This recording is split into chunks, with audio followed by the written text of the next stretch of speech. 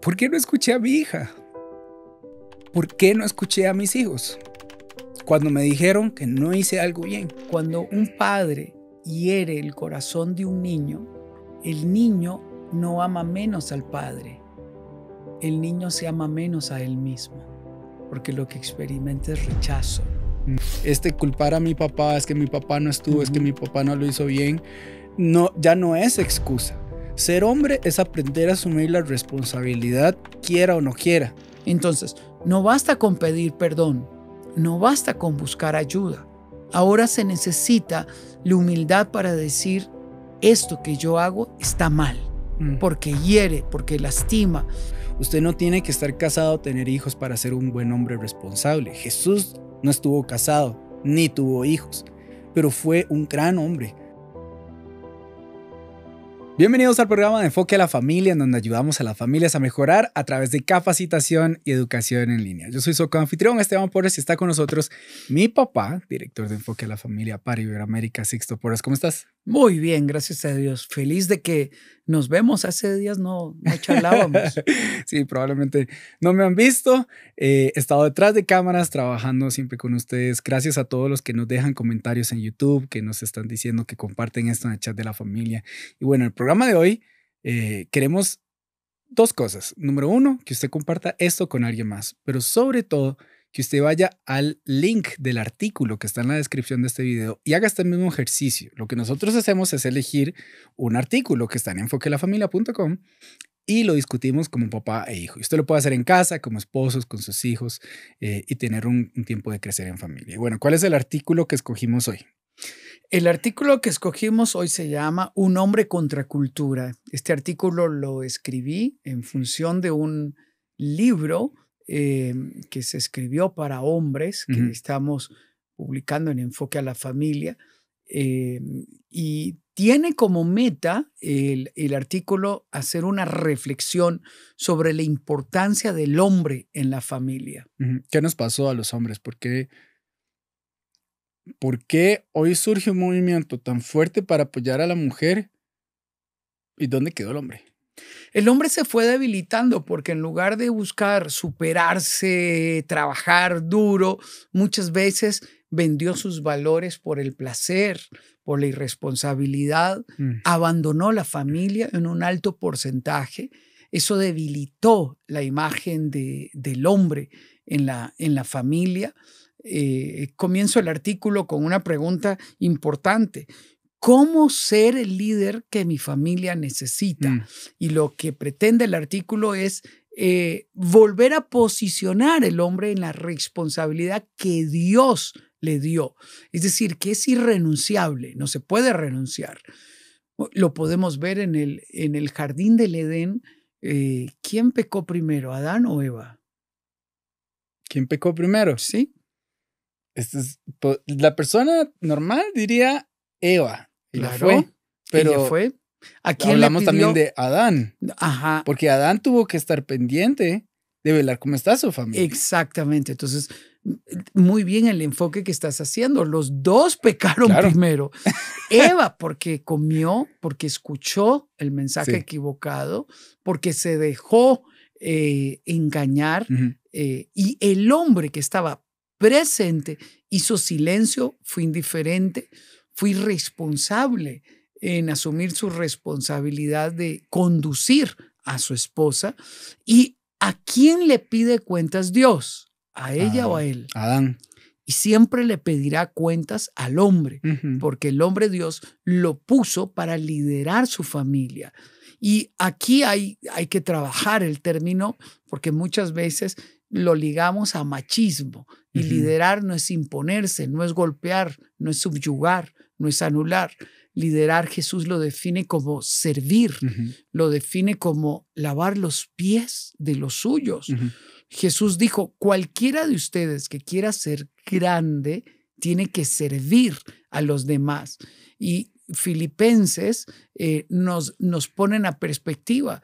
Dios nos dio ejemplo porque siendo en forma de Dios, Jesús se despojó a sí mismo de todos los privilegios para tomar forma de hombre y estando en condición de hombre, se humilló hasta lo sumo y sirvió a la, a la, humanidad. Por lo tanto, nosotros los hombres tenemos una responsabilidad que es ineludible y esta reflexión que hago en este artículo, Un hombre contra cultura, es poder analizar que nosotros podemos ir contra la cultura.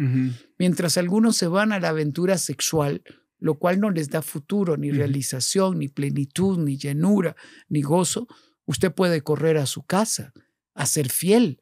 Mientras segundo, algunos se van hacia los placeres de este mundo, eh, usted puede correr a ser fiel a su hogar y puede tener propósito, sentido de destino, sentido de realización, eh, plenitud, llenura y al mismo tiempo va construyendo un legado.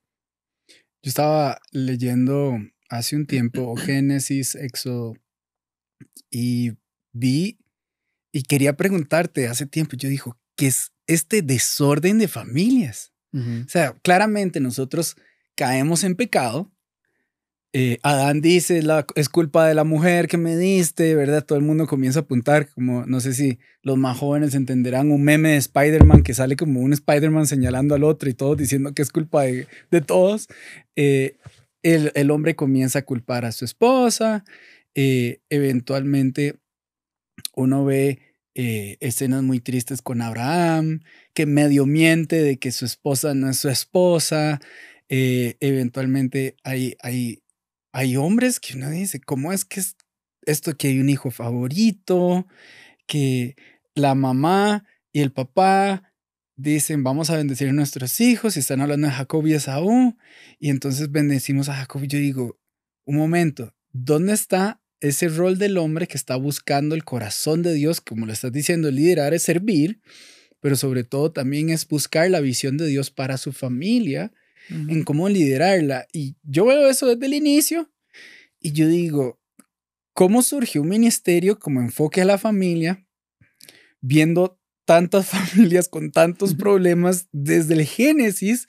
¿Cómo logramos redimir esto? Yo leía algunos de los de las estadísticas o las cosas que surgen cuando un padre no está presente, cuando un hombre no está haciendo su rol, usted puede visitar enfoquelafamilia.com y colocar en el buscador un hombre contra cultura y ahí va a ver, por ejemplo, la falta de la figura paterna. ¿Qué hacen las hijas? Se relaciona con un aumento en las posibilidades de embarazos tempranos no deseados, divorcios y baja autoestima, además de abuso de drogas y alcohol. En los hijos, la falta de figura paterna los hace más vulnerables que las niñas y tienen más riesgo de experimentar el fracaso escolar, la falta de control y agresividad. Yo veo esto y yo digo, es lo mismo que viene ocurriendo desde el Génesis. Entonces, un hombre puede decir, yo no tuve esto, yo, yo no he sido buen, buen padre porque yo no tuve un buen padre, lo mismo pudieron haber dicho algunos de Génesis, como mi papá no hizo estas cosas bien, mi papá eh, y mi mamá siempre tenían discusiones, el, hombre no estuvo haciendo un rol correcto. Todos siempre podemos culpar a alguien antes. ¿Cómo es que esto se detiene? ¿Cómo se hace un cambio a que haya un hombre nuevo y redimido? Eh, por supuesto, no hay hombre perfecto. Es, eso está en, en Cristo Jesús, nada más. Pero cómo se redime un hombre, porque yo digo, lo veo en Génesis, yo digo, qué, qué difícil es estar viendo eso y decir, yo puedo hacerlo mejor. Son los hombres de la Biblia. Bueno, en, en, el caso de la cronología que hiciste de varios personajes bíblicos, evidencia que todos nosotros estamos expuestos al error. Por ejemplo, a, eh, Abraham negó a Sara dos veces por temor el temor lo condujo a mentir. Y como bien dijiste, una mentira media, porque Sara era media hermana de, de, Abraham, ¿no? Eh, eh, entonces, era mi hermana, pero sobre todo era mi esposa. Eh, Isaac tuvo un hijo favorito y eso trajo rivalidad entre los, entre los hermanos. Lo que nos está diciendo la narrativa bíblica es que no todos nos equivocamos, no hay persona, persona perfecta. Eso, eso está claro. Pero al mismo tiempo, estos personajes fueron patriarcas, llevaron sobre sus lomos la construcción de una historia y asumieron la responsabilidad de sus actos. En comparación con el principio de Génesis, donde eh, eh, Adán eh, trata de disculparse sobre los hombros de la mujer y Dios dice, no, no, no, no, la responsabilidad del hombre es irrenunciable. Yo pediré cuentas a usted mm. por lo que ha hecho y usted es el responsable mm. de su familia. Entonces, uno, uno tiene que entender que hay una responsabilidad que es ineludible, la responsabilidad de liderar nuestro hogar, la responsabilidad de servir a nuestro hogar, la responsabilidad de hacer crecer a nuestro cónyuge, porque dice la escritura que yo me presento a mí mismo una esposa pura y sin mancha. Yo me la presento y la cultivo con mis palabras, con mi forma de amarla, por mi manera de, tratarla. Bueno, eh, esto significa que la que una actitud de madurez es asumir mi responsabilidad.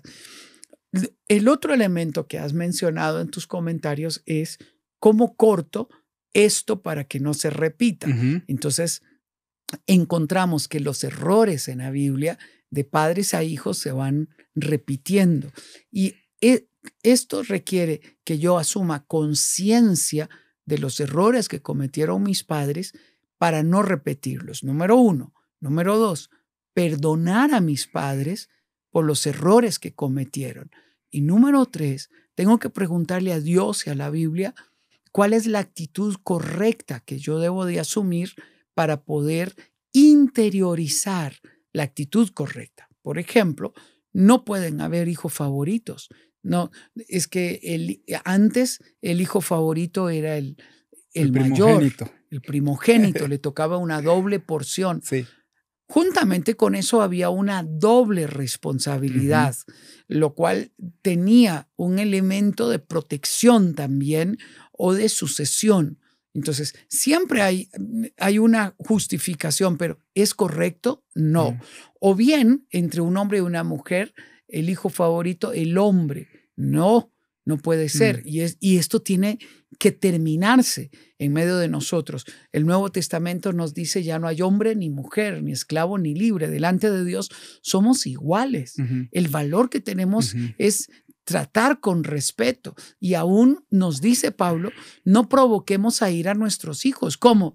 Tratando de manera diferente o teniendo un hijo favorito o, o teniendo favoritismos. O siendo infiel. O siendo infiel. Por eso surge un nuevo hombre que lidera cuando vuelve su corazón a casa, cuando reconoce que su responsabilidad es edificar a cada miembro de la familia cuando el hombre se involucra en la crianza de sus hijos. Una de las cosas que yo disfruto es verlos a ustedes como padres involucrados en la crianza de sus hijos y ver la ilusión con la que ustedes regresan a casa, ver la ilusión con la que ustedes tratan a las niñas y, y esto me llena de ilusión, de alegría. Eso trae realización, eso trae eso trae eh, la manifestación de un hombre que conduce a la siguiente generación al destino correcto. Cuando, cuando ustedes aman, cuando vos amás a Eva y a Zoe, cuando cuidas a Eva y a Zoe, cuando jugás con Eva y con Zoe, cuando te entregas a ellas, cuando le modelás lo que es un hombre, ellas crecen aceptadas, con amor propio, con, con seguridad y buscarán en el futuro una relación matrimonial que tenga similitud con lo que han vivido. Entonces, uno tiene que cortar la herencia de dolor, tiene que interiorizar el modelo correcto, tiene que pedir a Dios que sane nuestro corazón de todas aquellas cosas que, han, que nos han herido y que nos han lastimado. Si yo no lo sano, voy a tender a repetir la historia. Mm. Estás hablando de varias cosas, quiero apoyarme en eso último que dijiste. Sanar la historia para muchos hombres es ir a buscar ayuda y es de las cosas más difíciles, eh, estereotipa, estereotípicamente hablando, para un hombre hacer. Es como, ¿cómo voy a pedir ayuda yo? Eh, pero introdujiste bien el programa. Jesús mismo tomó una condición de humildad para poder Mm. servir.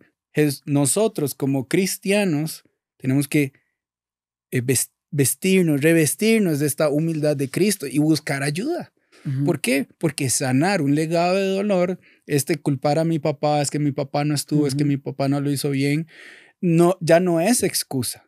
Ser hombre es aprender a asumir la responsabilidad, quiera o no quiera. No- Glenn Stanton, uno de nuestros eh, eh, estudiosos acá en Centro de Estudios para la Familia, de, de Enfoque a la Familia, él explicaba algo que ocurrió en un tiroteo que hubo en Las Vegas hace un tiempo. Y él dice que cuando se, a nivel estudio del ser humano, comportamiento del ser humano, cuando hay un tiroteo, ¿qué ocurrió generalmente en las tomas de video? Los hombres corrían hacia el peligro y las mujeres corrían fuera del peligro para llevar a otras personas y menores que eran vulnerables fuera de peligro. ¿Qué, qué estaba ocurriendo ahí? El hombre tenía una responsabilidad física de ir a proteger y, much- y naturalmente está como eh, sembrado en, en nosotros. Tenemos cierta fortaleza física y biológica. eh, nos diferencia de la mujer, eso está claro. Hay cosas que las mujeres pueden hacer que los hombres no pueden hacer, hay cosas que los hombres eh, pueden hacer que la mujer no puede hacer. Y, y eso me llamó la atención, porque muchos entendieron mi responsabilidad es ir a proteger. Y yo tengo cierta fortaleza física que en caso de que yo tuviera que enfrentarme con peligro, yo estoy dispuesto a dar mi vida por los demás.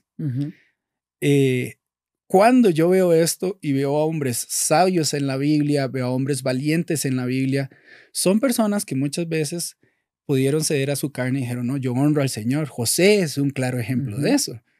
Eh, entonces, retomo, lo primero es tener la humildad de buscar ayuda. Yo recuerdo varios hombres, conversar con varios hombres que estaban llevando un curso prematrimonial y dijeron, mis papás no hicieron nada de esto, pero yo soy el primer hombre de la familia que está llevando un curso prematrimonial. Ujú. Y eso yo dije, bien, como usted está siendo un hombre responsable por su futura familia, usted está dedicándole tiempo a su futura esposa y está creciendo usted, viniendo en humildad, sometiendo ese aprendizaje para ser un hombre más responsable, más dedicado y más servicial.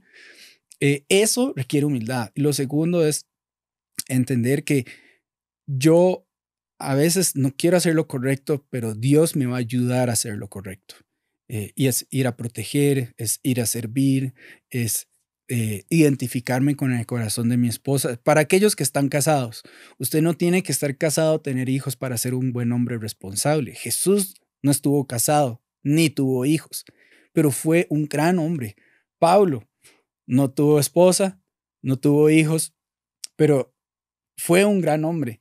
Eh, y eso es algo que yo quiero por un momento que ayudes a los hombres a entender que el tema de la masculinidad saludable no solamente se relaciona a si usted tiene esposa o si tiene hijos. Claro.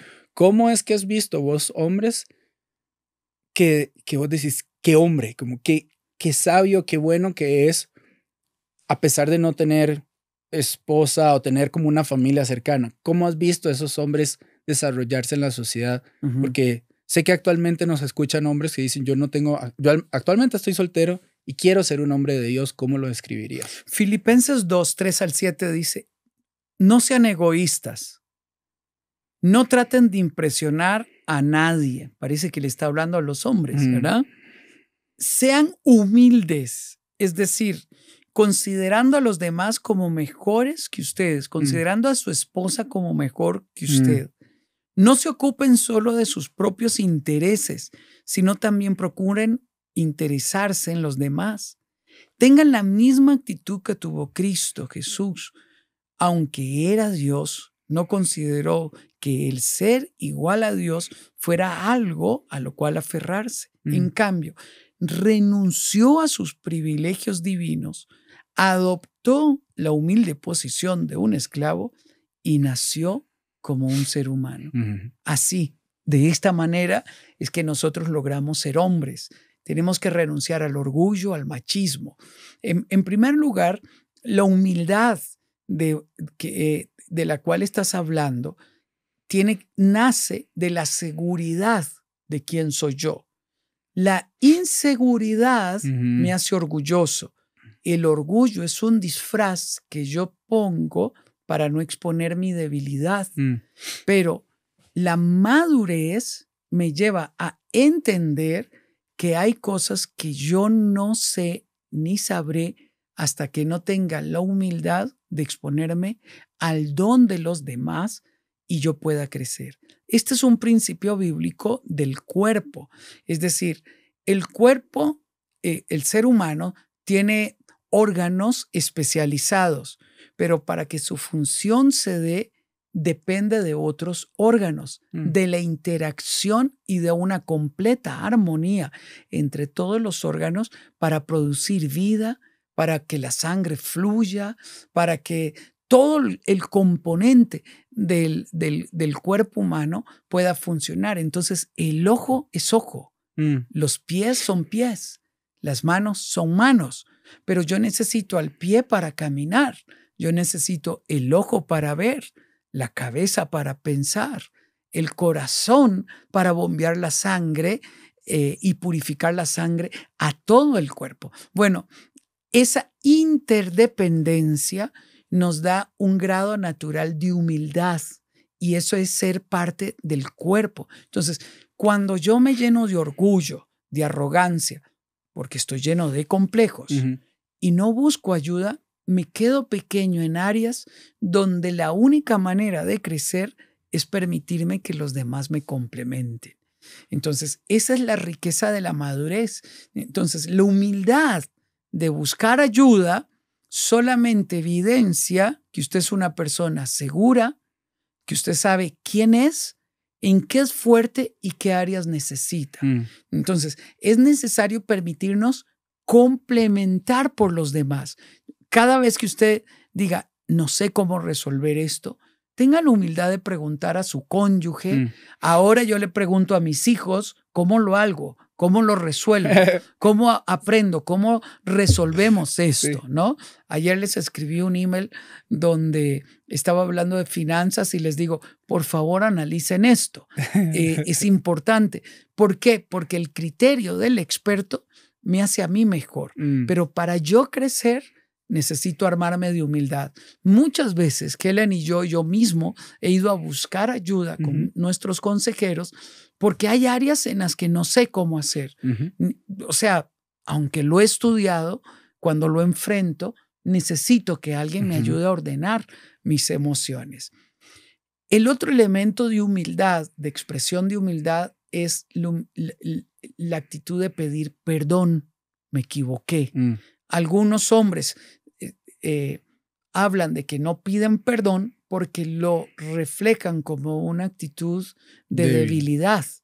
Y no es cierto.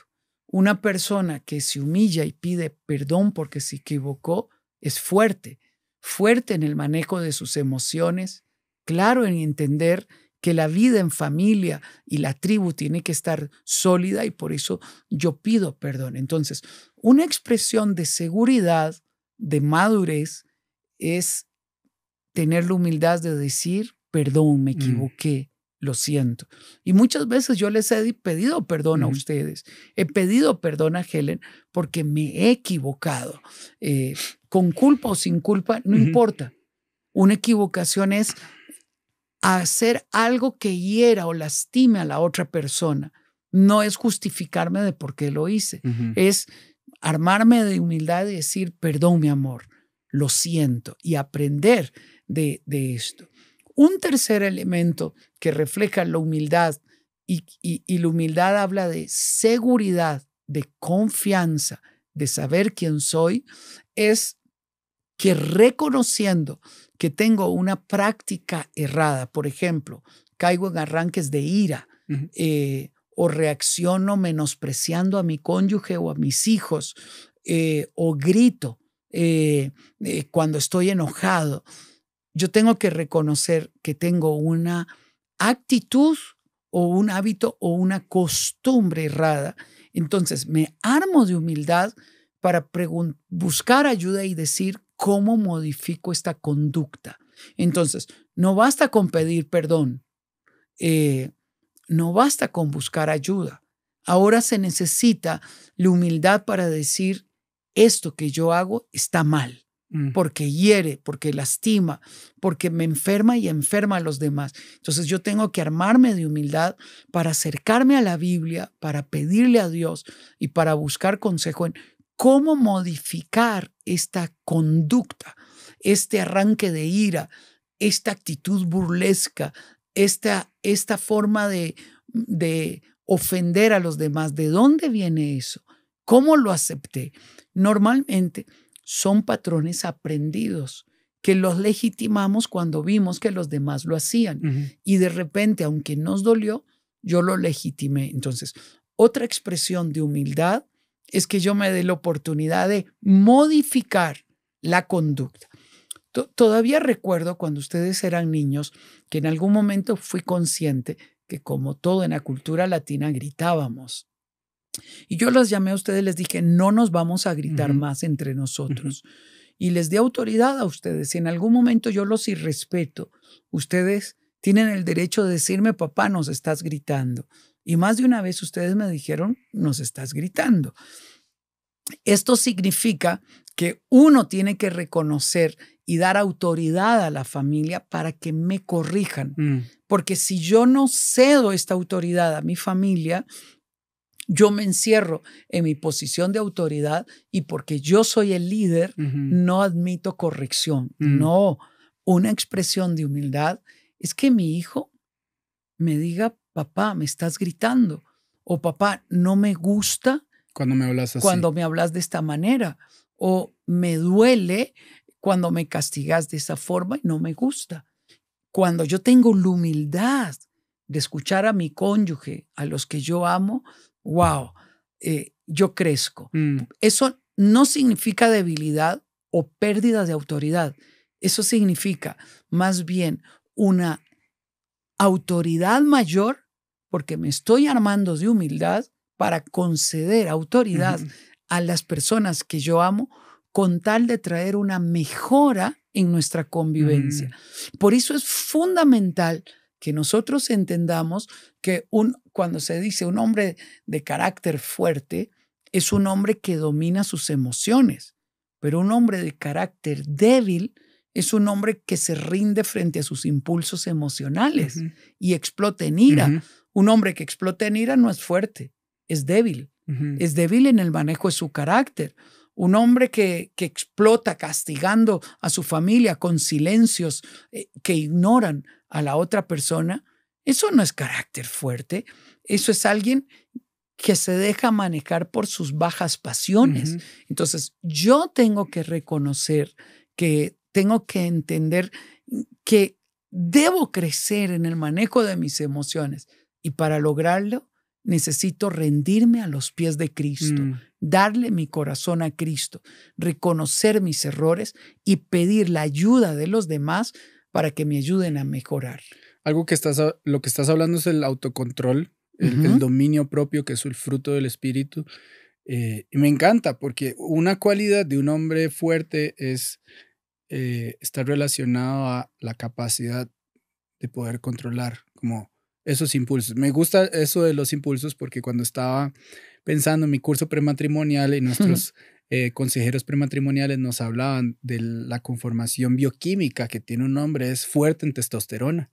Y cuando los psicólogos estudian al hombre y ven los, los niveles de testosterona que tienen comparado a los de la mujer, la testosterona tiene un componente de impulsividad. Entonces, cuando hay más peleas o hay más enfrentamientos físicos, ¿quiénes son normalmente? Los hombres. Porque hay un asunto hormonal ocurriendo dentro del hombre que es pues, característico único dado por Dios. Ahora, la testosterona, no, no podemos decir, Dios me dio esto, entonces por eso es que yo soy así. No, es que Dios me dio esto para lograr grandes cosas en la vida, incluidas muchas de esas físicas, para hacerlas al bien.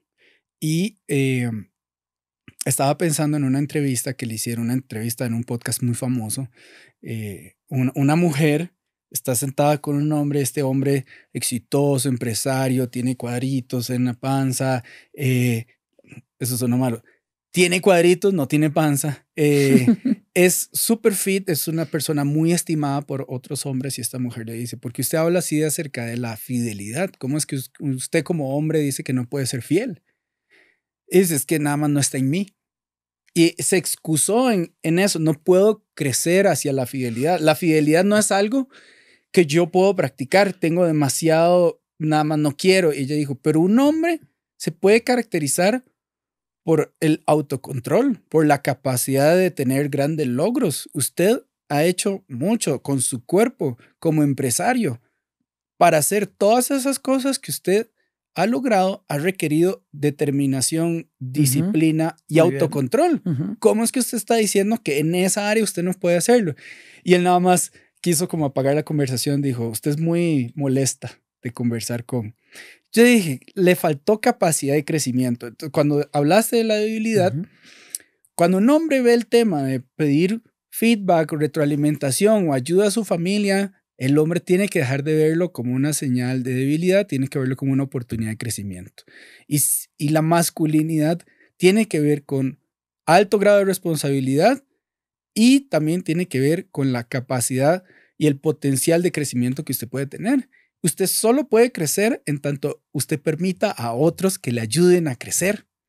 Usted puede llegar hasta cierto límite, pero si usted busca esa ayuda de otros, usted va a crecer aún más. Y estaba pensando esta semana en, que yo, yo acuesto a mi hija mayor, usualmente, mi hija Eva.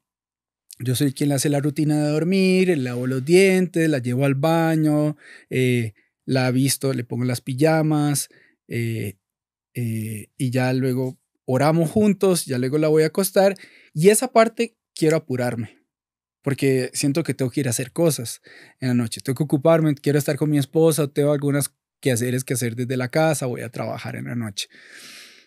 Y, de ahí, y Dayan, mi esposa, me dice, ¿por qué acostaste tan rápido a Eva? Eva te llamó varias veces, papá, regresa, papá, hablemos, papá, llévame al baño. Y dice, llévame al baño como cinco veces. Los papás de niños sabrán de qué estoy hablando. ¿Verdad que salen como, quiero agua, uno sale del cuarto, papá, llévame al baño, sale del cuarto, papá, me duele un dedo, sale del cuarto, papá. Y entonces uno regresa N cantidad de veces. Y Dayan me dijo, vos sabes que lo que ella está buscando es que compartir un rato más contigo ¿por qué te vas tan rápido? Si ella lo que está buscando es compartir con vos. Y yo, oh, eso me pegó demasiado. Y yo dije, es cierto, ¿por qué estoy corriendo? Eh, sí, hay momentos donde tal vez tengo que ir a dar una, una clase, tengo una cita, eso está bien, como hay que hacerlo más rápido. Pero mi esposa me está diciendo, tómese su tiempo para acostar a sus hijas, pero es un tiempo muy valioso.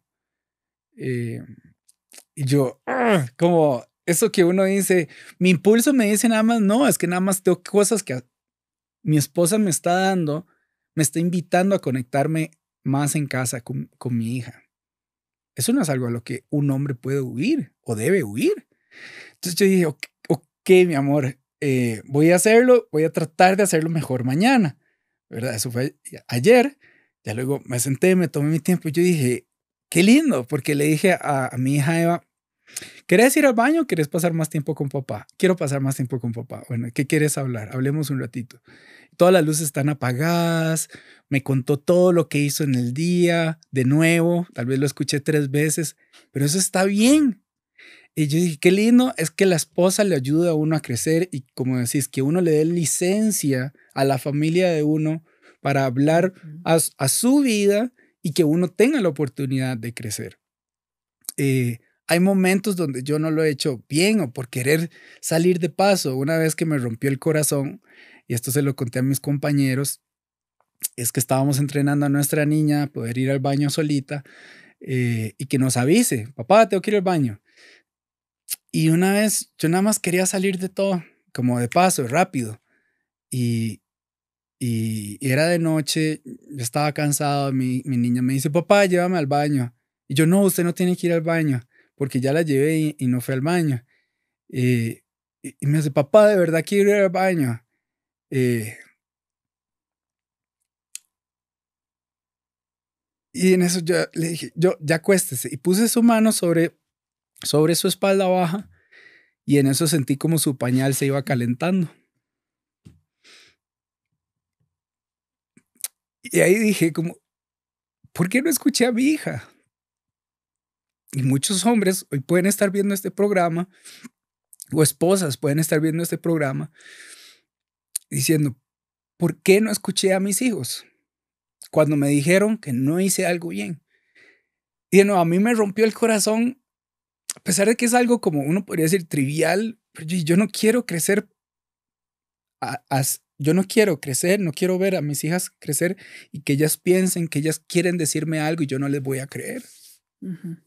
Y, yo le conté a mi esposa y los dos lloramos. Yo dije, alguien podría decir, no, no importa mucho, es un tema de ir al baño sí importa demasiado porque esos son los patrones que uno va sosteniendo y va creando en el camino. Y luego un día una hija le va a decir, papá, me están haciendo daño en la escuela. No, no pasa nada, como tengo que irme al trabajo. Tengo que irme a hacer algo más. Mi responsabilidad, mi primer ministerio es mi familia. No es mi trabajo. Tener trabajo es importante, pero es mi familia. No es mi iglesia, es mi familia. Yo hice pacto con mi esposa, no hice pacto con mi iglesia. Eh, yo hice pacto para cuidar y proteger mi propio hogar. Y sí, después de esa vez, llevo a mi hija tantas veces necesito ir al baño. Ya luego lo que me di cuenta es que solo, ah, muchas veces sí iba al baño y otras veces es, solo quiero estar un rato con vos. Eh, y eso requirió comenzar a, de nuevo, aprender qué Dios quiere enseñarme a mí, cómo Él quiere dar fruto en mi vida. Eso se llama dominio propio. Eh, y el, uno de estos frutos, este fruto está maravilloso porque te va a llevar a crecer en muchas, muchas, muchas maneras. Y yo, yo tengo que decir, mi papá dice como, algunas veces les he alzado la voz, contadas con la mano, menos. ¿Por qué? Porque él ha desplegado esa capacidad de, buscar al Señor eh, y decir como, Dios, ¿cómo me quieres ayudar a crecer? Y él atiende y él escucha increíblemente bien. Eso es algo que yo tengo que crecer como hombre. Y a mí me ayuda muchísimo rodearme de, rodearme de hombres que no solamente me inspiren a ser un gran empresario, a tener buenas finanzas y a tener cuadritos en mi estómago. Yo tengo que rodearme de hombres que modelan un buen carácter y decir eso, que, que me, ellos me digan eso que hice estuvo mal. Tenés que crecer en esto. Y eso es riquísimo. Al final vos decís, qué dicha que tengo amigos así, qué dicha que busqué hombres así. En la iglesia se encuentran hombres que están en proceso. También se pueden encontrar hombres que están que son fáciles de quebrar, esos hombres que estás diciendo que nada más estallan y gritan y todo, son hombres hombres débiles, pues son fáciles de quebrar, cualquier cosa los quiebra. Pero también en en en las iglesias hay hombres que están buscando el corazón de Dios. Y esos hombres que están buscando el corazón de Dios, como mi papá dice, péguenseles, acérqueseles, invítelos a comer, invítelos a cenar, invítelos a su casa. Uno no puede darse el lujo de decir, esta es mi vida, voy a vivir en el mundo de redes sociales, voy a nada más aprender a encerrarme en mi burbuja, como salga esa burbuja. Como Dios nos mandó a vivir en comunidad y a ser parte de una iglesia para que uno crezca y uno sea inspirado por otros hombres que buscan el corazón del Señor. Y yo quiero agradecerte a vos porque has, has sido esa persona que me ha corregido, no, no, solo como mi papá, como mi compañero de trabajo, mi líder, eh, y yo creo que hoy muchos hombres apreciarían poder tener a alguien así, como hombres busquen. Ahora, hablemos eh, antes de irnos a la esposa que dice, yo quiero ayudar a mi esposa a crecer en ese rol lindo, masculino, único que Dios le ha dado a él, sin yo querer tomar como ese rol de él, porque está esto de como querer cuidar, querer hacerlo por él, y está bien. Pero ¿cómo, una, cómo has visto mujeres en tu vida que inspiran al hombre, inspiran a su esposo eh, o inclusive amigos, a compañeros de trabajo a vivir en ese rol eh, hombre contra cultura? Hmm. Uno es lindo ver cómo abrís tu corazón, porque todos tenemos que aprender a apreciar y si no nos detenemos a llevarlo a, orinar, a comer, a, a jugar, no vamos a construir recuerdos. Déjame decirte una, una frase. Cuando un, un padre hiere el corazón de un niño, eh, el niño no ama menos al padre. El niño se ama menos a él mismo, porque lo que experimenta es rechazo. Mm. Y, y, esto, lo que, nos, lo que nos, nos está diciendo es que la capacidad que Dios puso en los niños de amar es inagotable, tan inagotable que a pesar de que nosotros hayamos fallado, no dejan de amarnos. nos extrañan, nos piden, vuelven a insistir, pero generamos heridas en ellos que les lastiman eh, al crecer, porque vieron un rechazo como yo no lo merezco Mm, o yo soy culpable. Eh, y esto nos pone en la perspectiva de que Dios nos puso esta capacidad de amar, pero también nos da el privilegio de sanar, de pedir perdón. ¿Cómo una esposa puede ayudar al hombre de la casa a, a crecer? Respételo. Trátelo como un hombre. Trátelo como a un adulto. No lo trate como a un niño. No le dé órdenes. No le pregunte si ya orinó antes de salir de la casa. Es un hombre. no le esté diciendo cómo vestirse o cómo no vestirse. Dé sugerencias. Consulte, pregunte. Aunque en algún momento él tenga actitudes infantiles o irresponsables, usted no caiga en la trampa de, de verlo como él mismo se está viendo en esos momentos. En el fondo, todo hombre quiere verse como un hombre adulto y maduro. Y déjeme terminar este comentario con esta frase. La persona tiende a tratarse a sí mismo como los demás le miran. Mm. Entonces, como tú me lo estás diciendo constantemente, así yo me miro. Dímelo bien. Dime que valgo, que soy un buen hombre, que soy responsable, que yo puedo hacerlo, que saldría adelante, que tengo la admiración tuya, que tengo el respeto tuyo, que me respetas. Porque la cercanía evidencia nuestras debilidades o nuestras imperfecciones. Y la tendencia humana es resaltar las imperfecciones, aunque sean pocas, y menospreciar las virtudes. Lo, lo que estamos sugiriendo es, admira virtudes, resalte virtudes, aún virtudes que su, el hombre de la casa no ha logrado descubrir en él mismo. Mm, Si usted mm, trata a su hombre como lo que es, como lo diseñó Dios, él tenderá a comportarse así. En el libro de jueces capítulo 6, el ángel aparece a Gedeón y le dice, varón esforzado y Mm. valiente, ve con esta tu fuerza y libera al pueblo de Israel. Él responde desde su complejo y desde su miedo y dice, soy el menor de mi casa, soy de una tribu pobre, tengo miedo.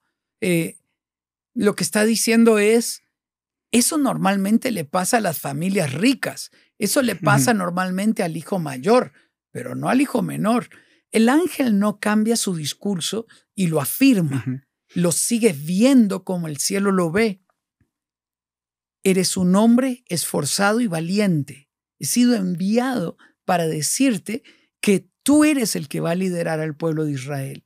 Lo que estoy tratando de decir es, hable como un mensajero de Dios al hombre de la casa, afírmelo, empodérelo, ayúdelo.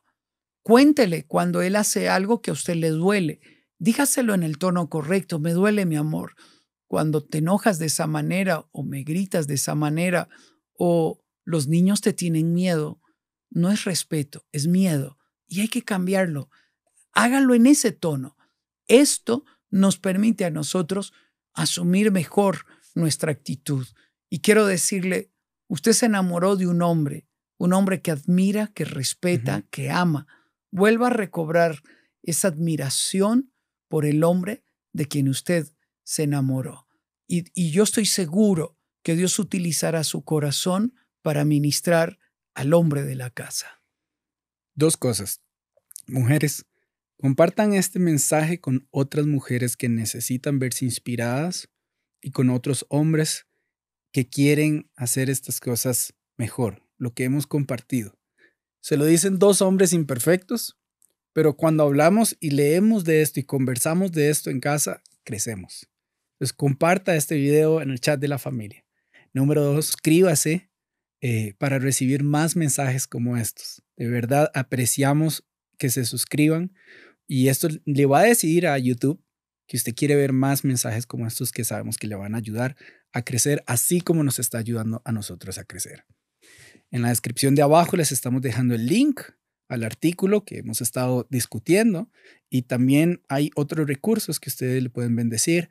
Eh, si usted es eh, hombre, papá, tenemos un curso que se llama La poderosa influencia de papá. Y es un estudio bíblico que hace mi papá sobre cómo crecer en el arte de la paternidad y muchas cosas que yo he aprendido sobre la paternidad, hacerlas bien, los he aprendido en este curso con él. Incluye una guía del participante, usted puede reunirse con otros hombres y llevar este curso. Entonces, hombres, eh, vayan al link que está en la descripción, inscríbanse a este curso, pueden verlo dentro de nuestras plataformas. Y eh, papi, gracias por este ratito. Gracias a vos por ser sensible, por ser un buen hombre, un buen esposo y un buen padre.